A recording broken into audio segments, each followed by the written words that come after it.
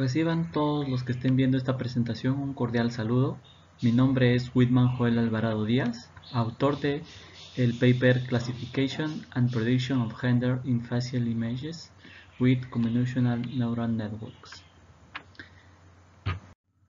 Bien, eh, la metodología que hemos aplicado lo podemos ver en la imagen, esta imagen, eh, la cual lo hemos dividido en cinco etapas, que son la adquisición de las imágenes, eh, la detección de rostros, este, la organización de las imágenes, la aplicación del algoritmo de inteligencia artificial, Machine Learning, y la etapa de predicción.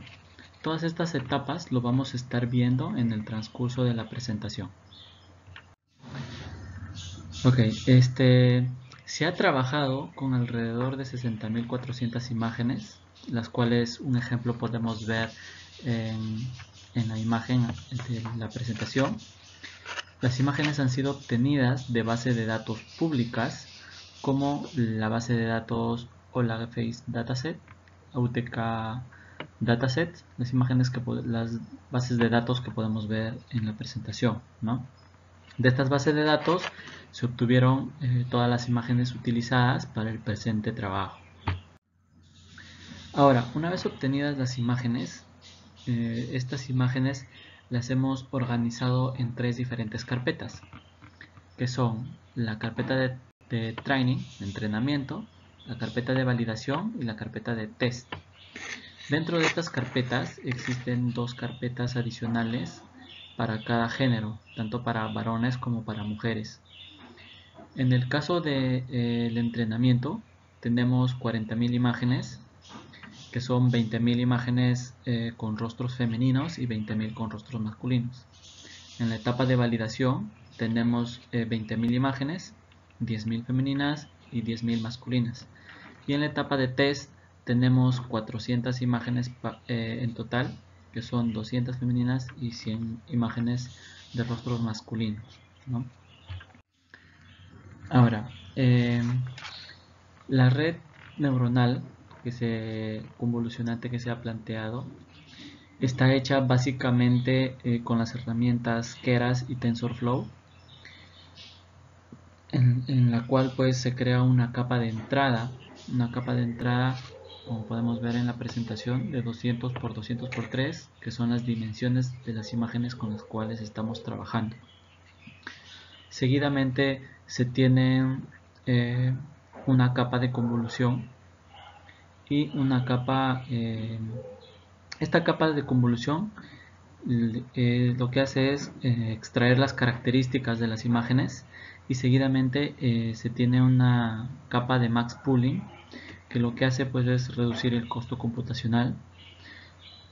Y estas dos capas este grupo de dos capas se repite por cuatro veces tenemos cuatro, cuatro grupos de dos de estas capas antes de entrar a las capas de conexión densa en las cuales finalmente eh, se obtiene una clasificación de masculino y femenino de las imágenes con las cuales estamos entrenando el algoritmo. Ahora, en la parte inferior podemos ver una gráfica del entrenamiento, del entrenamiento que se realizó y como podemos ver, tanto en la parte de entrenamiento como validación, se cuenta con una eficiencia superior al 95%, ¿no? superior al 95%, lo cual es una eficiencia muy buena en una etapa de entrenamiento.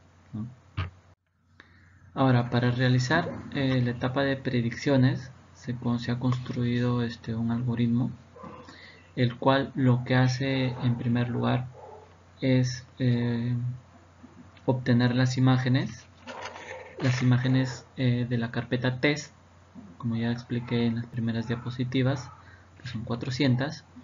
Estas imágenes son imágenes que el sistema de entrenamiento nunca ha visto, son imágenes nuevas para el sistema de entrenamiento. Entonces, eh, con estas imágenes lo que se realiza es, eh, se capta la etiqueta de la imagen, que es el valor real de la imagen, tanto como varón como para mujer, el valor real.